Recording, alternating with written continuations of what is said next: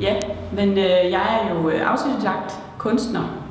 Øh, det vil sige, at øh, jeg er sådan en, der øh, aldrig rigtig har lært, øh, hvordan man egentlig gebærder sig på et lærred. Øh, jeg benytter mig rigtig meget af tilfældet, når jeg arbejder. Og øh, det er altid materialerne, der egentlig bestemmer, hvordan øh, værket det ender med at udvikle sig. Øh, derfor så bruger jeg også meget øh, helt almindelige hverdagsting. Det kan være tape, det kan være vådservietter eller almindelige servietter.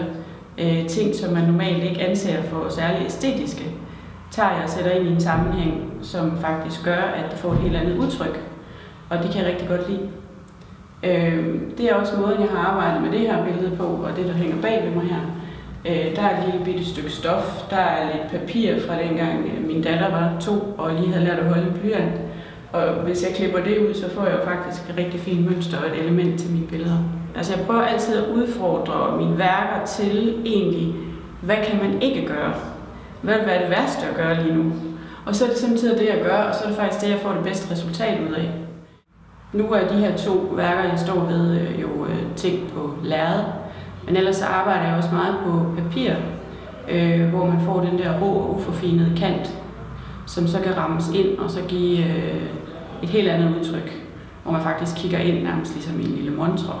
Så det er sådan ligesom to udtryksformer, altså den sådan meget øh, lige på øh, og ind i ansigtet øh, kunst med lærrederne, og så er det den, der sådan ligesom er bag glas, som har et lidt andet udtryk.